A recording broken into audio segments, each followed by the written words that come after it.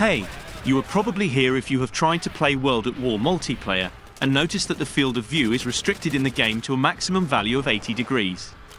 I'm going to show you how to change it to a value exceeding the limit of 80 using a hex editor. This is not a perfect solution and I will discuss it more in the end of the video.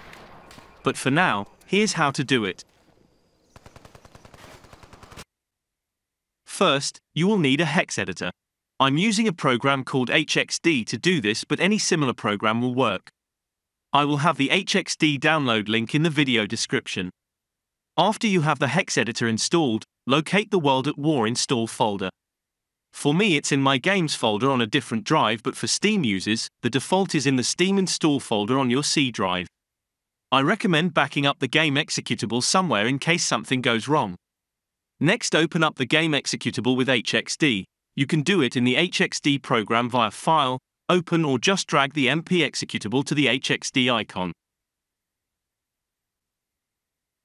Next you will see the game executable in a hexadecimal format. On the left you can see a column of 8 character addresses. You will need to find the right address that has values for the field of view. In World at War, one such value is in address 004A3240. Just scroll down until you find it. You can also try to use the search function but it didn't work for me for some reason. After finding the correct address, you should see the values 82 and 42 next to each other on the 06 and 07 offset. These are the values to be changed. The value must be in hexadecimal format so you will need to convert the desired value to hexadecimal. For example, to get 90, you need to replace 82 with B4. You can convert numbers using this website and read the correct value in the hexadecimal representation window. Note that it will show the values in a different order. For values close to 80, the 42 part usually don't change. I will show you some common values you can use.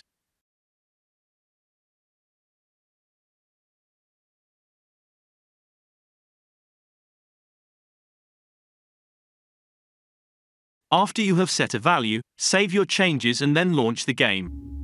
When you join a supported server, your field of view should be now changed.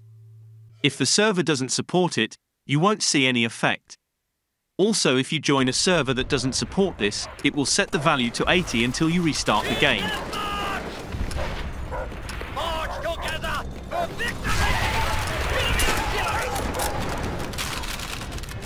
This has a few downsides.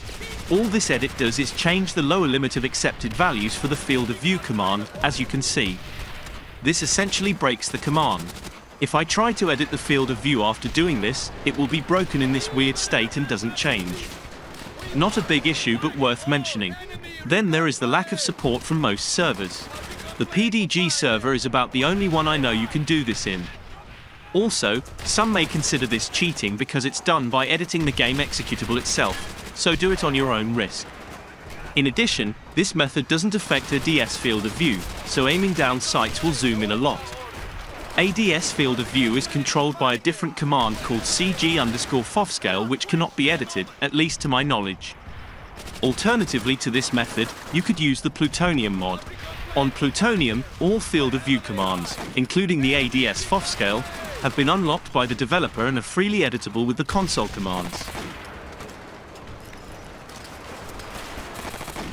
In the end, I recommend using Plutonium if you want high field of view gameplay since it's natively supported there and the only server that supports it on the Steam and DVD versions also works on Plutonium.